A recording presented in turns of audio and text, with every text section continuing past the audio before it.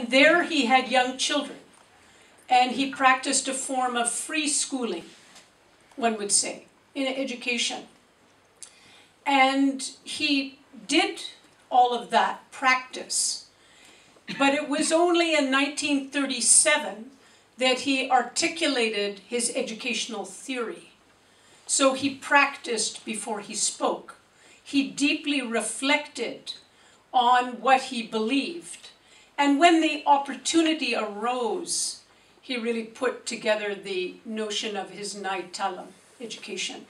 And uh, he, he was always very deeply reflective. So I think that's one. Second thing uh, that was extremely important in why I find Gandhi significant for today, for the contemporary time, is that he had the ability to stand up for what he believed, at, at whether everybody was against him or not. You know, he had this, um, this belief, for instance, in the charka, the uh, uh, hand, hand weaving, hand spinning and hand weaving of cloth. Now, this came out of boycotting Manchester cloth and finding a symbol of India's non-cooperation. Came up in the non-cooperation movement in 1921 uh, when he was back in India. Uh, but what is so significant is that many people said, oh, come on, you're crazy. Uh, this is just a spinning wheel. And he, he actually believed that all children should learn how to spin and that they should become self-supporting. They should actually support their education.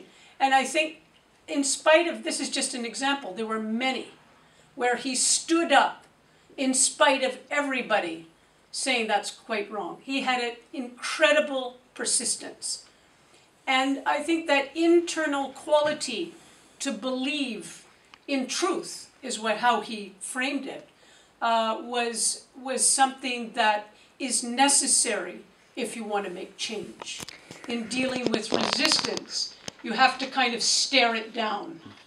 Uh, you you have to uh, learn how to handle deeply how to resist uh, uh, countervailing forces.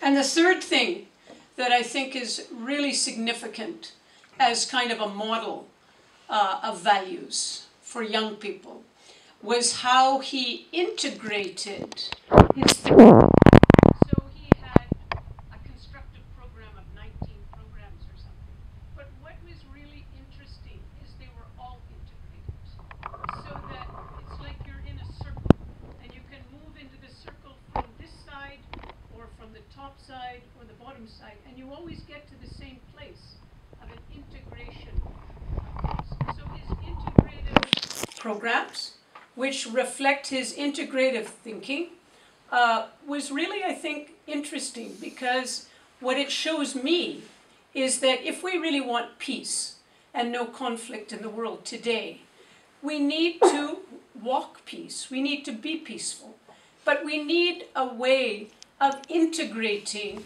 the way we the way we act,